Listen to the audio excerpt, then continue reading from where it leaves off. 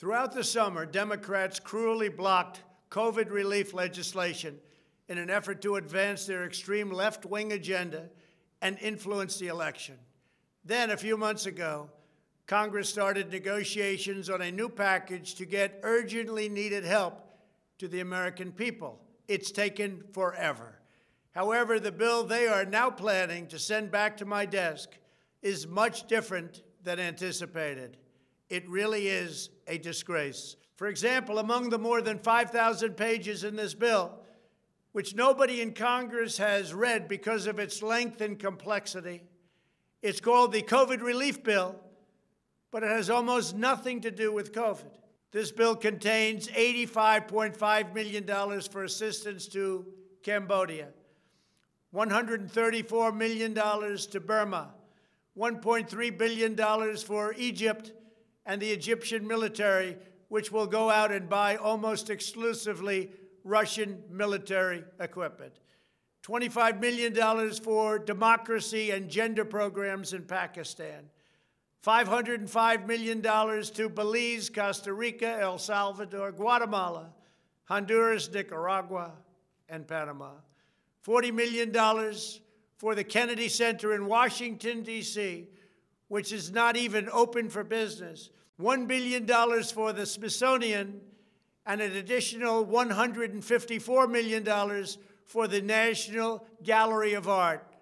Likewise, these facilities are essentially not open.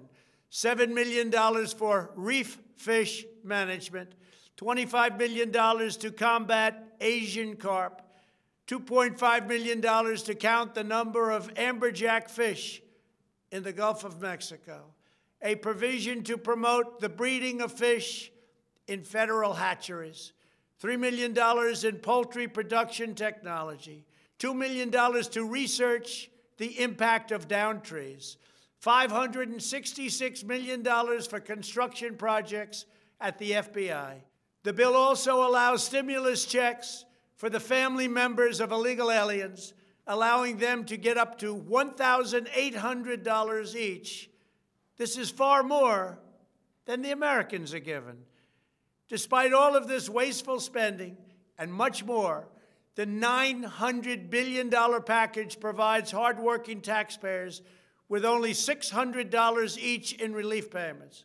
And not enough money is given to small businesses, and in particular restaurants, whose owners have suffered so grievously, they were only given a deduction for others to use in business their restaurant for two years. This two year period must be withdrawn, which will allow the owners to obtain financing and get their restaurants back in condition. Congress can terminate it at a much later date, but two years is not acceptable. It's not enough.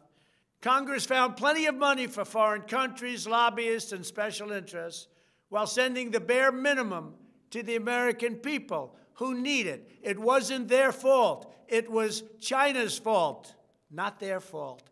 I am asking Congress to amend this bill and increase the ridiculously low $600 to $2,000 or $4,000 for a couple.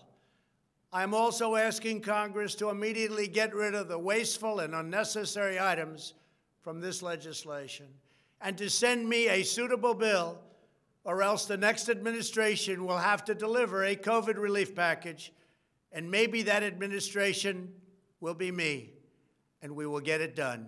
Thank you very much.